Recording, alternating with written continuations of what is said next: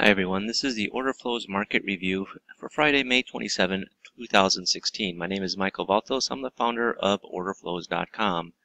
First, a brief disclaimer. This presentation is for educational and informational purposes only and should not be considered a solicitation to buy or sell a futures contract or make any other type of investment decision. Future trading contains substantial risk and is not for every investor. An investor could potentially lose all or more than the initial investment. Risk capital is money that can be lost without jeopardizing one's financial security or lifestyle. Only risk capital should be used for trading, and only those with sufficient risk capital should consider trading. Past performance is not necessarily indicative of future results. All right, so it's Friday, May 27. You know, it's the Friday before Memorial Day weekend. And actually later today you have Janet Yellen speaking and obviously, you know, I, I think people are, are going to be, you know, waiting and, and watching to see what she's got to say about about any possible rate hikes. You know, that said, it's been it was a very quiet morning, and it's, it's still quiet. We're still trading around 20 um, 2092 and a quarter. Uh, we opened up at at 2090 and a half. You know, our range, you know, the, the range in the S&Ps is, is 88 up to, to 94. And, you know, I mean, 94 is, is just, is, is a recent high. You know, it's about 10 o'clock right now, Chicago time. And, you know, so basically you're, you're talking about a six point range, which is ridiculous for the S&Ps. It's, like I said, you know, you have the holiday on Monday and you got Janet Yellen speaking this afternoon. Markets, you know, there's not going there's not much to happen today. So, you know, I took a trade here. You know, uh, let me just step it backward. You know, I bought it at 92 and a half. And, you know, really I was looking to see if there's going to be a big breakout or not. And I'll tell you why I was looking at this 92 and a half level. I was looking at this 92 and a half level because if you go back to Wednesday, Wednesday afternoon, about 2.30, 2.40, we hit this high here at uh, 2092 and a half. And we have a, we don't have a ratio that I like, but you, you can see the volume up here. It's, it's quite strong. You know, it's 1500, you know, 1100, 1300, even on the bid side, it's, it's 1261. The market did sell off. It sold off down to about 83, 82 even the next day, 83 the next day. And, you know, when I see volume like that, to me that that's a, that's an important level. You know, earlier, we had hit 92. Even before that, you know, 92 again. You know, we just this was Wednesday. We just sort of going up. You know, get up to 92. Couldn't really get past it. You know, we traded. We got up to 93, two and a half, but there was heavy volume up there, and you know, the market sold off from that going into the close. I mean, so we got down to you know, we ended up the day you know, 80s, what is that, 88 and three quarters. But then, you know, when we opened in, in the evening, that night we sold off down to uh, two and a half. So you know, even though you know from 2:30 on Wednesday afternoon until you know basically midnight, we sold off basically 10 points. Okay, we got back up on Thursday. You know, we started trading. The Thursday's trading session was was extremely tight as well, and you know, after the cash open, we got up to our high at uh, 91 and three quarters, and then we just traded back and forth. You can see it's, it's kind of a neutral day in the volume profile is what it looks like here. And that's how we ended up the day. We didn't take out the high. We took out the high though this last night, and we got up to we hit 92.50. And again, you know, this was at you know after 8 p.m. Chicago time when we hit that high, we got a ratio bounds low again. You know, got a ratio, got a divergence. Yeah, the market sold off. Okay, whoop-de-doo. You know, went from 92 and a half down to eight and a half. So it was a four-point move. And the market is very contained. You know, this is Thursday night going into Friday morning. We were very, very contained. You know, when we got down to 88, you know, wow, we made a new low down to 88. Then we started coming back up. We hit 92 and a half again around 7 Actually, it was even before seven. I, I, sort of remember it was probably around five in the morning we started trading up there. You know, we'd get there and come off, get there, come off. You know, we put in some volume. You know, by the time the cash opened, you know, we're trading down around 90. You know, this actually this bar, even though it turned, this is a 10 range S&P chart, even though you know, this bar is green, you know, prior to the cash opening, you know, it looked like we're selling off. Um, you know, or at least selling off into the low. It's hard to say we're selling off Uh, when you have a, a, very, you know, 92 and a half high, 88 low, you have a, basically a four point range, four and a half point range. But, you know, as cash opened, we turned around. We're starting to see some buying come in. And we're getting back up here at 92 and a half. And, you know, I, you know, people that know me know me that I used to be a, I used to love to buy breakouts. I used to love to cause breakouts whenever I could. You know, even if it meant, you know, trading it. You know, eh, seeing if there's stops up there. You know, we did get up towards the other side. Okay, you know, then you know, I figured, hey, you know, I only take a shot, and I was really looking for you know a quick move up to the 94 level. I did expect to see some volume up here at you know at three and a half, you know, at three, three and a half. But I, I really felt that if we're really going to finally break through this 92 and a half level, we can, you know, finally we could make a make a move above, you know, go up to 21, 2100 and, and probably test our, our highs, you know, our, our contract highs. You know, so I got long, and as luck would have it, we just sort of hung around in this bar. We sort of, you know, we put a lot of volume in this bar. After I got long, we even traded down to 91 and a half. So, you know, I did take some heat. We did break out finally you know, we made a new high at 94. You know, it's hard to get excited. You know, when you're a breakout trader, you're really looking for a big breakout. You're not looking for this little high here, you know, a couple points, you know, a couple ticks higher. You know, you're long at, at two and a half. You know, you, you want to get out at five, you know, at four, four and a half, five, not at, you know, you're not looking for, a, you know, three and a half. You know, ideally you'd like to get out at 94 and above. You know, I'd like to get at least a couple points out of it. But again, we hit this level here at 94 and we just sold off. We just came right back down. So, you know, this this level to me is, is an important level. You can see the volume that's trading here, you know, 10,000 uh, on the offer.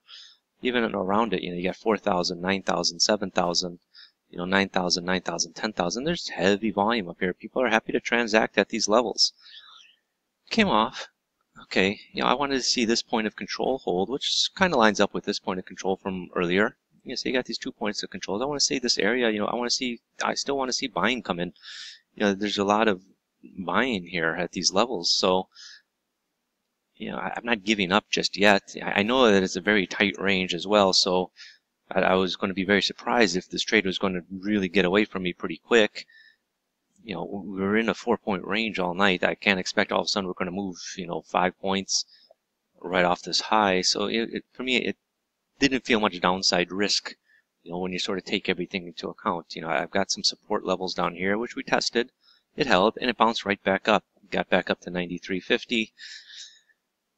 Then again, you know, right now, I mean, right now it's it's a little bit after 10, and we're trading around this area here, around 93. Well, now it's at two and a half, but we were trading, you know, three, three and a quarter, three and a half, you know, three and a quarter, threes, you know, 275 back and forth here honestly, you know, I originally I thought I, I threw an offer in there at three and a half, trying to get a point out, and it was just really going nowhere. I, I just, I, I, honestly, I came in today not expecting to trade at all, and this trade, you know, it's sort of set up.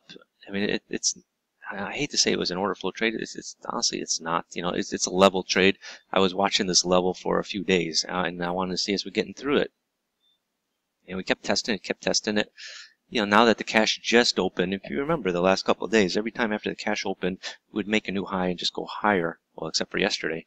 But uh, so I was sort of looking, anticipating the same sort of thing. And, you know, we did break out, break out a little bit more, and then just came right back off, started going sideways.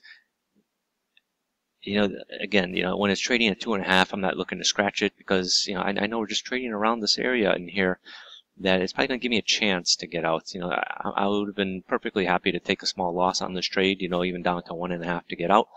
But I know that this market is just going to rotate around, you know, two and a half to three, you know, even down to two. So, you know, there's going to be chances for me to get out. I, I do expect us now just to go sideways ahead of Janet Yellen speaking. You know, the fact that we couldn't build on this move initially right after the cash open. You know, this is 9 o'clock Chicago time. And, you know, the fact that we didn't really react and sell off. You know, we made the high, but we didn't sell off. You know, we did come down to 91, you know, but we just snapped right back and there's this pretty quick snap back. So, you know, I do expect us to go sideways now. So, you know, I said I got out at three and a quarter. So, you know, it's not the greatest trade. You know, it's not something I'm going to beat on my chest and say, you know, send out videos. Hey, you know, I, I made you know, whatever on, you know, on, on, a quick trade. No, you know, I, I felt that this was a pretty low risk setup in terms of market structure.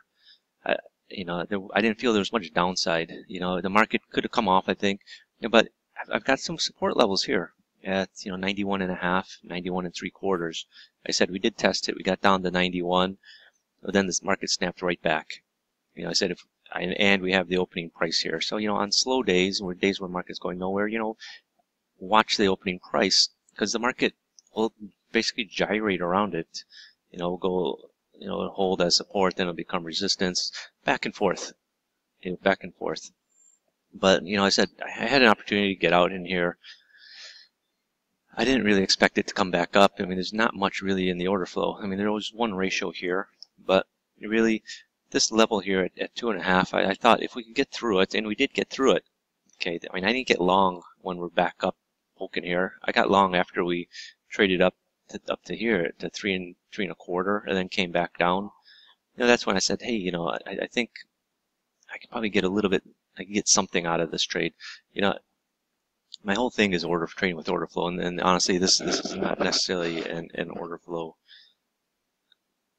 trade in the sense that you know there's no ratios or anything like that. This was something more, you know, as, as a level that I've been watching from the order flow from Wednesday when we hit this high here.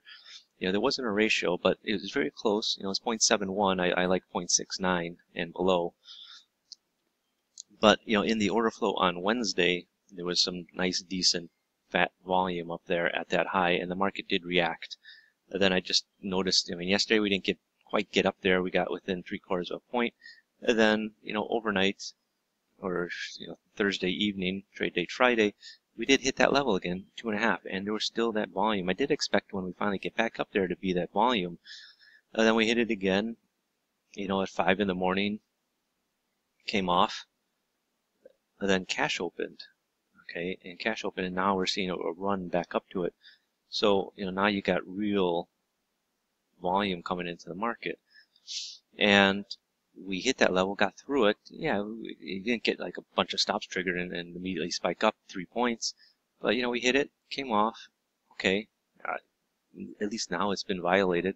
I'm looking for, you know, a, another push up again. Again, you know, if you know, for this trade for me to fail, you know, it'd have to come down, you know, at least test, get on the other side of this opening price at, at 90 and a half, even, you know, come down to 89 and a half. You know, this was basically my stop level here, you know, worst case scenario. But, you know, as, you know, it did get down in this bar on me down to around, I think, 91 before it was, you know, turned back up. But then, you know, it never really followed through, and then it sort of went sideways on me. So, you know, I took my chance. You know, market gives you, I think, market gives you opportunities to get out with a, small scratch or a small winner. I'll say a small scratch, a scratch, or a small winner or a small loser. When a trade is not working out, and you know, I, I took that opportunity to get out here. What I do think is interesting now is we're up here, still at the high and you got a lot of negative deltas going on here, even though this bar's got a very strong positive delta. You know, the fact that we haven't been able to build off this strong positive delta is not necessarily the greatest sign yet. You know, we'll see. I think I think the market's kind of in a holding pattern, waiting for Janet Yellen to speak, and uh, then everyone will take off for a nice long weekend. Okay, so thank you for watching this video you know, if you can, subscribe to my YouTube channel so I know that you guys are watching my videos and, you know, and appreciate them. And, you know, to learn more about trading with order flow and the software that I use in this video, uh, be sure to visit my website, www.orderflows.com. And, you know, hey, if, if you think it's too expensive, you know, email me. This is my email here, mike at orderflows.com, and, you know, we'll work something out. You know, I said it's, it's about educating you to trade with order flow don't necessarily have to use my software. You know, ideally, yeah, because all my videos and all my education is built around my software. I had my software developed because the existing order flow software out there didn't analyze the market with order flow. Yeah, it just gave you a footprint chart. Well, you get a footprint chart from anywhere, but you have to know what you're looking at. And you know, people that I was that I was teaching, they don't know where to start. So that's why I sort of created the software with the indicators that I'll say indicators, but you know, with the things that I look for in the market that you know, I said they're not necessarily indicators, they're more things to sort of slap you upside the head, the head and say, hey, idiot, don't miss this. This is happening right now in the market. And, you know, it's up to you whether you want to take it or not. You know, order flow itself is not a trading system. It's a method of trading the market. It's an approach to the market. It's, it's not a, a black box.